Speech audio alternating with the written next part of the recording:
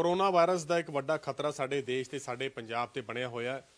ਇਸ ਖਤਰੇ ਦੇ ਵਿੱਚ ਬਹੁਤ ਲੋਕ ਐਸੇ ਹੈ ਜਿਨ੍ਹਾਂ ਨੂੰ ਅੱਜ ਮਦਦ ਦੀ ਲੋੜ ਹੈ ਤੇ ਬਹੁਤ ਐਸੇ ਲੋਕ ਹੈਗੇ ਜਿਹੜੇ ਹਰ ਮਦਦ ਦੇ ਵਿੱਚ ਕਿਸੇ ਨਾ ਕਿਸੇ ਪਰਿਵਾਰ ਦੀ ਸਹਾਇਤਾ ਕਰ ਰਿਹਾ। ਬਠਿੰਡਾ ਸ਼ਹਿਰ ਦੇ ਵਿੱਚ ਸਮਾਜ ਸੇਵੀ ਸੰਸਥਾਵਾਂ ਕੋਸ਼ਿਸ਼ ਕਰ ਰਹੀਆਂ, ਪ੍ਰਸ਼ਾਸਨ ਕੋਸ਼ਿਸ਼ ਕਰ ਰਿਹਾ ਕਿ ਹਰ ਘਰ ਤੱਕ ਰਾਸ਼ਨ ਪਹੁੰਚਾਇਆ ਜਾਵੇ ਤਾਂ ਕਿ ਦੋ ਵਕਤ ਦੀ ਰੋਟੀ ਹਰ ਕਿਸੇ ਨੂੰ ਮਿਲੇ। ਦਿਹਾੜੀਦਾਰਾਂ ਦਾ ਬਹੁਤ ਬੁਰਾ ਹਾਲ ਹੈ ਕਿਉਂਕਿ ਕੰਮ ਬੰਦ ਹੈ, ਕੰਮ ਬੰਦ ਹੋਣ ਕਰਕੇ ਕੋਈ ਇਨਕਮ ਦਾ ਸੋਰਸ ਨਹੀਂ ਹੈਗਾ। ਇਸ ਕਰਕੇ ਦਿਹਾੜੀਦਾਰਾਂ ਵਾਸਤੇ ਇੱਕ ਵੱਡੀ, ਆਪਾਂ ਇਹ ਕਹਿ ਸਕਦੇ ਕਿ ਸਮਾਜ ਸੇਵੀ ਸੰਸਥਾਵਾਂ ਜਿਹੜੀਆਂ ਕੰਮ ਕਰ ਰਹੀਆਂ, ਉੱਥੇ ਹੁਣ ਬਠਿੰਡਾ ਦੇ ਸ਼ਹਿਰ ਵਾਸੀਆਂ ਨੇ ਘਰੋਂ ਘਰੀ ਸੇਵਾ ਸ਼ੁਰੂ ਕਰ ਦਿੱਤੀ ਹੈ। ਅਸੀਂ ਇਸ ਵਕਤ ਮਾਡਲ ਟਾਊਨ ਇੱਕ ਘਰ ਦੇ ਵਿੱਚ ਮੌਜੂਦ ਹੈ। ਐਮ ਕੇ ਮੰਨਾ ਜੀ ਦਾ ਘਰ ਹੈ।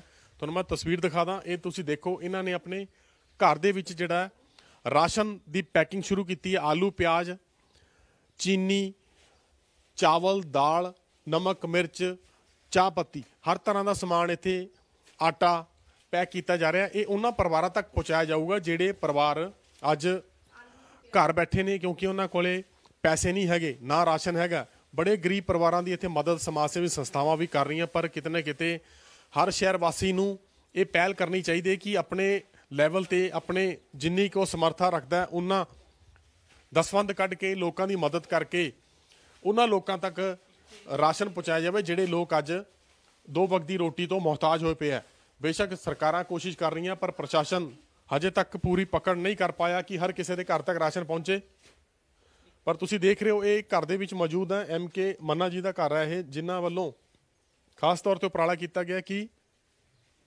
10 ਦਿਨ ਦਾ ਰਾਸ਼ਨ ਇੱਕ ਪਰਿਵਾਰ ਵਾਸਤੇ ਇੱਥੇ ਪੈਕ ਹੋ ਰਿਹਾ ਹੈ ਜਿਹਦੇ ਵਿੱਚ ਆਟਾ ਚੀਨੀ ਦਾਲ तमाम ਉਹ ਚੀਜ਼ਾਂ ਹੈਗੀਆਂ ਜਿਹੜੀਆਂ ਘਰ ਦੇ ਵਿੱਚ ਜ਼ਰੂਰੀ ਹੈ ਤਾਂ ਕਿ ਹਰ ਬੰਦਾ ਦੋ ਵਕਤ ਦੀ ਰੋਟੀ ਆਰਾਮ ਨਾਲ ਖਾ ਸਕੇ ਸ਼ਹਿਰ ਦੇ ਵਿੱਚ ਲੰਗਰ ਕਈ ਥਾਂ ਚੱਲ ਰਿਹਾ ਹੈ ਰਾਸ਼ਨ ਵੀ ਕਈ ਥਾਂ ਵੰਡਿਆ ਜਾ ਰਿਹਾ ਹੈ, ਪ੍ਰਸ਼ਾਸਨ ਵੱਲੋਂ ਵੰਡਿਆ ਜਾ ਰਿਹਾ ਹੈ, ਪਰ ਇਹ ਜਿਹੜੀ ਤਸਵੀਰ ਤੁਹਾਨੂੰ ਦਿਖਾ ਰਹੇ ਹਾਂ, ਇਹ ਅਸੀਂ, ਇਹ ਪਹਿਲੀ ਤਸਵੀਰ ਹੈ ਜਿਹੜੀ ਕਿਸੇ ਦੇ ਘਰ ਦੀ ਹੈ, ਜਿੱਥੇ ਘਰ ਦੇ ਵਿੱਚ ਤੁਸੀਂ ਦੇਖੋ ਇਹ ਖਾਸ ਤੌਰ ਤੇ ਉਹਨਾਂ ਪਰਿਵਾਰਾਂ ਵਾਸਤੇ ਪਹਿਲ ਕੀਤੀ ਗਈ ਹੈ, ਜਿਨ੍ਹਾਂ ਪਰਿਵਾਰਾਂ ਨੂੰ ਆ ਜ਼ਰੂਰਤ ਹੈ ਮਦਦ ਦੀ, ਆਲੂ, ਪਿਆਜ਼, ਹਰ ਤਰ੍ਹਾਂ ਦਾ ਜਿਹੜਾ ਸਮਾਨ ਕਿਸੇ ਕੋਲ ਨਹੀਂ ਹੈਗਾ, ਤਾਂ ਇਹ ਮੰਨਾ ਜੀ ਜਿਹੜੇ ਹੈਗੇ ਕੋਸ਼ਿਸ਼ ਕਰ ਰਹੇ ਲੋਕਾਂ ਦੇ ਘਰਾਂ ਤੱਕ ਪਹੁੰਚਾਇਆ ਜਾਵੇ। ਰਾਸ਼ਨ ਦੇ ਘਰ ਤੋਂ ਇੱਕ ਪਹਿਲ ਸ਼ੁਰੂ ਹੋਈ ਹੈ ਕਿ ਘਰੇ ਖੁਦ ਆਪ ਰਾਸ਼ਨ ਲਿਆ ਕੇ ਪੈਕਿੰਗ ਕਰਕੇ ਉਹਨਾਂ ਗਰੀਬ ਲੋਕਾਂ ਤੱਕ ਪਹੁੰਚਾਈ ਜਾ ਰਹੀ ਹੈ ਤਾਂ ਕਿ ਹਰ ਕੋਈ ਪੇਟ ਭਰ ਕੇ ਖਾਣਾ ਖਾ ਸਕੇ। ਸਾਡੇ ਨਾਲ ਮੰਨਾ ਜੀ, ਉਹਨਾਂ ਨੇ ਗੱਲ ਕਰਦੇ ਹਾਂ ਜੀ। ਮੰਨਾ ਜੀ, ਕਿੱਦਾਂ ਇਹ ਤੁਹਾਡੇ ਮਨ 'ਚ ਵਿਚਾਰ ਆਇਆ ਕਿ ਆਪਣੇ ਘਰ ਦੇ ਵਿੱਚ ਹੀ ਆਪਾਂ ਪੈਕਿੰਗ ਕਰਨੀ ਹੈ?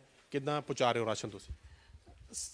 ਸਮਾਜ ਸੇਵਾ ਦੇ ਤੌਰ ਤੇ ਸ਼ੁਰੂ ਤੋਂ ਹੀ ਮੇਰੇ ਬੜੇ ਸਿਸਟਰ ਮੈਡਮ ਵੀਨੂ ਗੋਇਲ ਜੀ, ਜਿਹੜੇ ਕਿ ਸ਼ੁਰੂ ਤੋਂ ਹੀ ਲੱਗੇ ਆ ਰਹੇ ਨੇ, ਉਹਨਾਂ ਨੇ ਮੈਨੂੰ ਇਹ ਕਿਹਾ ਕਿ ਕਿਉਂ ਨਾ ਜਿਹੜੀ ਰਾਸ਼ਨ ਹੈ ਵੀ ਬਾਹਰ ਬਹੁਤ ਦਿੱਕਤ ਆ ਰਹੀ ਹੈ ਕਿ ਆਪਾਂ ਰਾਸ਼ਨ ਦੇ ਘਰੇ ਪੈਕਟ ਬਣਾਉਣੇ ਸ਼ੁਰੂ ਕਰੀਏ। ਤੇ ਮੈਂ ਉਹਨਾਂ ਨੂੰ ਕਿਹਾ ਕਿ ਹਾਂ ਆਪਾਂ ਇਹਦੀ ਪੇਲ ਜ਼ਰੂਰ ਕਰਾਂਗੇ ਤੇ ਅਸੀਂ ਅੱਜ ਤੋਂ ਹੀ ਘਰੇ ਰਾਸ਼ਨ ਦੇ ਪੈਕਟ ਬਣਾਉਣੇ ਸ਼ੁਰੂ ਕੀਤੇ ਹੈ। ਬਾਕੀ ਇਹਨਾਂ ਦਾ ਸਹਿਯੋਗ ਸਦਾ ਹੀ ਸਾਡੇ ਨਾਲ ਬੰਦਾ ਰਿਹਾ ਇਹ ਹੁਣ ਜਿਹੜਾ ਰਾਸ਼ਨ ਹੈਗਾ ਇਹ ਕਿੰਨੇ ਦਿਨਾਂ ਦਾ ਰਾਸ਼ਨ ਤੁਸੀਂ ਪੈਕ ਕਰ ਰਹੇ ਹੋ? ਕਿੱਦਾਂ ਪਹੁੰਚਾਇਆ ਜਾਂਦਾ ਘਰ ਤੱਕ? ਇਹ 10 ਦਿਨਾਂ ਦਾ ਰਾਸ਼ਨ ਹੈ। ਤੇ ਜਿਹੜਾ ਕਿ ਅਸੀਂ ਘਰੋਂ ਘਰੀ ਪਹੁੰਚਾਉਂਦਾ ਇਸ ਤਰ੍ਹਾਂ ਹੈ ਕਿ ਕਾਫੀ ਫੋਨ ਆ ਰਹੇ ਨੇ ਸਾਡੇ ਕੋਲ। ਉਹਨਾਂ ਫੋਨਾਂ ਦੇ ਥਰੂ ਅਸੀਂ ਕਿਸੇ ਨਾ ਕਿਸੇ ਜਿਹੜਾ ਵੀ ਕੋਈ ਸਮਾਜ ਸੇਵੀ ਹੈ ਜਾਂ ਕੋਈ ਜਿਹਨੂੰ ਪਾਸ ਇਸ਼ੂ ਹੈ ਤਾਂ ਕਿ ਕਾਨੂੰਨ ਦੀ ਵੀ ਉਲੰਘਣਾ ਨਾ ਹੋਵੇ, ਉਹਨਾਂ ਪਾਸ ਵਾਲੇ ਵੀਰਾਂ ਦੀ ਸਹਾਇਤਾ ਲੈ ਕੇ ਉਹਨਾਂ ਦੇ ਥਰੂ ਅਸੀਂ ਉਹਨਾਂ ਉਹਨਾਂ ਘਰਾਂ ਤੱਕ ਪਹੁੰਚਦਾ ਕਰਾਂਗੇ। ਬਿਲਕੁਲ ਚੰਗੀ ਪਹਿਲ ਹੋ ਰਹੀ ਹੈ ਜੀ। ਮੈਡਮ ਸਾਡੇ ਨਾਲ ਹੈ, ਮੈਡਮ ਨਾਲ ਗੱਲ ਕਰਦੇ ਹਾਂ। ਮੈਡਮ, ਇਹ ਕਿੱਦਾਂ ਵਿਚਾਰ ਬਣਿਆ ਜੀ ਵੀ ਘਰੇ ਹੀ ਆਪਣੇ ਸਾਰਾ ਪੈਕਟ ਤਿਆਰ ਕਰਨਾ ਇਹ? ਕਿੰਨੇ ਪਰਿਵਾਰਾਂ ਨੂੰ ਰਾਸ਼ਨ ਤੁਸੀਂ ਦੇਣ ਦਾ ਟੀਚਾ ਰੱਖਿਆ ਜੀ? ਦੇਖੋ, ਜਿੱਥੋਂ ਤੱਕ ਤੁਸੀਂ ਟੀਚੇ ਦੀ ਗੱਲ ਕੀਤੀ ਹੈ, ਟੀਚਾ ਤਾਂ ਮੈਂ ਕਹਿੰਨੀ ਆ ਵੀ, ਮੈਂ ਤਾਂ ਕਹਿੰਨੀ ਅੱਜ ਹੀ ਖਤਮ ਹੋ ਜੇ ਵੀ ਕੱਲ ਤੋਂ ਕੋਈ ਕਰੋਨਾ ਦਾ ਜਿਹੜਾ ਹੈ ਮਰੀਜ਼ ਹੀ ਨਾ ਮਿਲੇ। ਵੀ ਇਹ ਟੀਚਾ ਸਾਡਾ ਰਵੀ ਨਾ, ਪਰ ਪਰਮਾਤਮਾ ਨੇ ਜੋ ਸੇਵਾ ਲਾਈ ਹੈ, ਜਿਹੜਾ ਹੁਣ ਤੱਕ ਅਸੀਂ 200 ਪਰਿਵਾਰਾਂ ਨੂੰ ਰਾਸ਼ਨ ਦੇ ਚੁੱਕੇ ਹਾਂ ਤੇ ਅਸੀਂ ਅੱਜ 80 ਦੀ ਪੈਕਿੰਗ ਹੋਰ ਕਰ ਰਹੇ ਹਾਂ। ਸ- ਸਾਡੇ ਕੋਲ ਜਿਵੇਂ ਜਿਵੇਂ ਫੋਨ ਕਾਲਸ ਆ ਰਹੀਆਂ, ਜਿੱਥੇ ਜਿੱਥੇ ਜ਼ਰੂਰਤ ਹੈ, ਅਸੀਂ ਰਾਸ਼ਨ ਪਹੁੰਚਦਾ ਕਰ ਰਹੇ ਹਾਂ ਤੇ ਕਾਨੂੰਨ ਦੀ ਵੀ ਉਲੰਘਣਾ ਨਾ ਹੋਵੇ ਉਸ ਦਾਇਰੇ 'ਚ ਰਹਿ ਕੇ, ਅਸੀਂ ਉਹਨਾਂ ਵੀਰਾਂ ਸਮਾਜ ਸੇਵੀਆਂ ਦੇ ਰਾਹੀਂ ਜਿਨ੍ਹਾਂ ਨੂੰ ਪਾਸ ਦਿੱਤੇ ਗਏ ਨੇ, ਉਹਨਾਂ ਦੇ ਰਾਹੀਂ ਇਹ ਜਿਹੜਾ ਰਾਸ਼ਨ ਹੈ, ਉਹ ਘਰ ਤੱਕ ਪਹੁੰਚਦਾ ਕਰਦੇ ਹਾਂ, ਜਿਨ੍ਹਾਂ ਦੀ ਸਾਡੇ ਕੋਲ ਕਾਲ ਆਂਦੀ ਹੈ।